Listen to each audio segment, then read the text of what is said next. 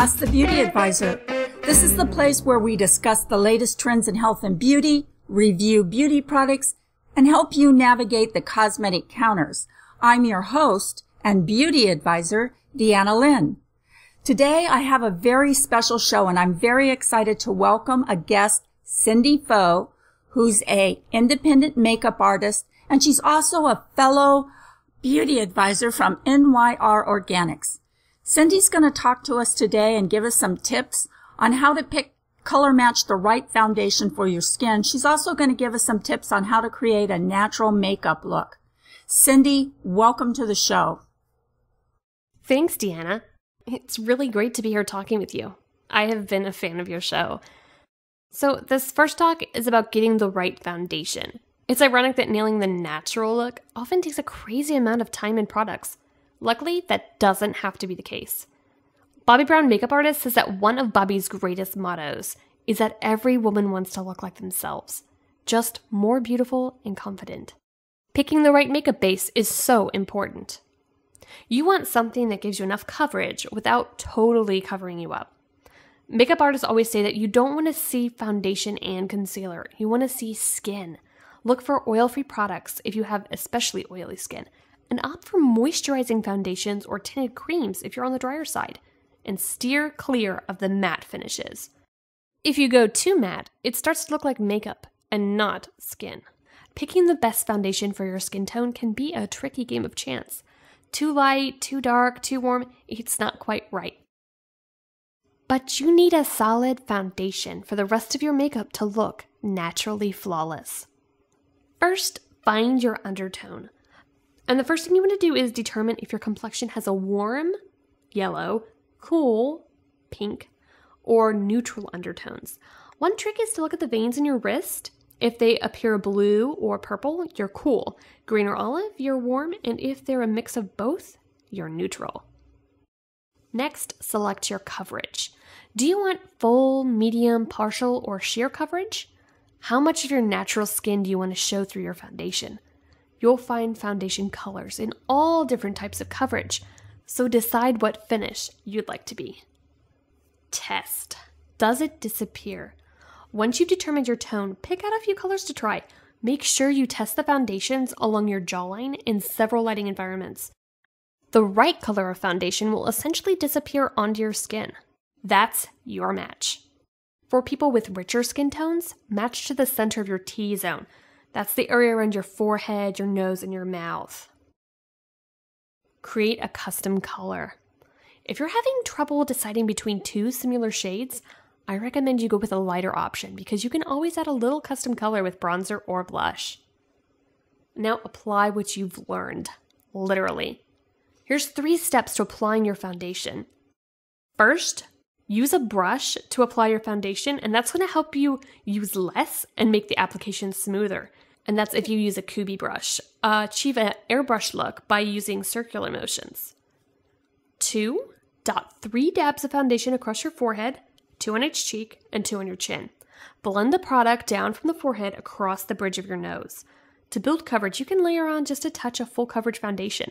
Be sure to clean your brush after each use, and that's going to avoid that cakey look. And here's a tip depending on your desired coverage, Bobbi Brown creams are great because they're a primer, light moisturizer, and tinted foundation all in one. And because it's not too watery and it comes in many shades, it gives you a truer match. Number three, dip a fluffy brush, like a large powder brush, into powder with a packing motion, not a swirl.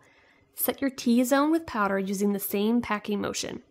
For oily skin, you're going to want to be sure to set the foundation with a translucent powder, like Neutrogena Shine Control. So now let's talk about finding your perfect blush.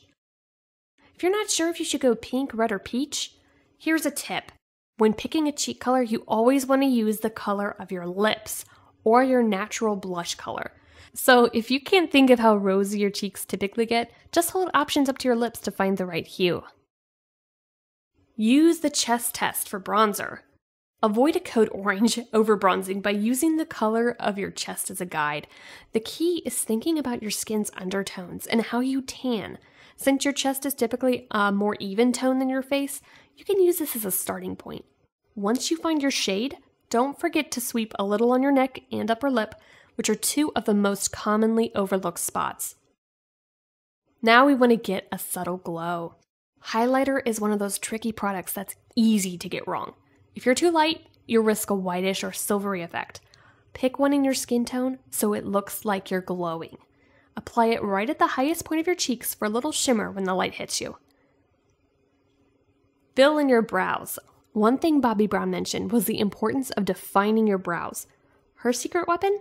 Eyeshadow. Use a shade slightly darker than your hair color and fill eyebrows in with shadow and a brow brush rather than a pencil. This is going to give you a softer, more natural look. But don't be afraid to consult a makeup artist for the right product, since finding your perfect shade can be difficult. Have a signature lip color. A woman should have her no mirror lip color. That means that you carry it around in your purse, you don't need a mirror to put it on, and you know it'll look great. To find this magical shade, look at your natural lip color and go one shade brighter or shade darker, depending on which you prefer. I also suggest opting for a creamy formula, which tends to be more forgiving and natural looking. Brighten up your eyes. You don't need to go full on smoky to make your eyes pop. After choosing your favorite eyeshadow, line your eyes using a shade darker than your eye color. Brown eyes will want to go with black or dark brown, while blue or green eyes can get a little more creative. It should be thinner at the inner corner and a little thicker at the end. That way, it gives the eye a lift. Then you're going to want to top with a few coats of mascara, and you want to make sure to go all the way to the lash line, which helps define and lift the lashes. Cindy, thank you so much for preparing that for us. Those were some great tips, and I hope you'll come back to the show again. We'd love to hear from you again. Hey, hi. I hope these tips are helpful, and thanks for having me on today. I want to thank you all for listening. And I want to invite you over to askthebeautyadvisor.com. I hope you'll stop by there and leave us a comment. Give us your tips on finding the right foundation or natural, how to naturalize your makeup. Um, also, if you'd like to be on the show, you can contact me at askthebeautyadvisor.com. Until next time, please stay healthy and be beautiful.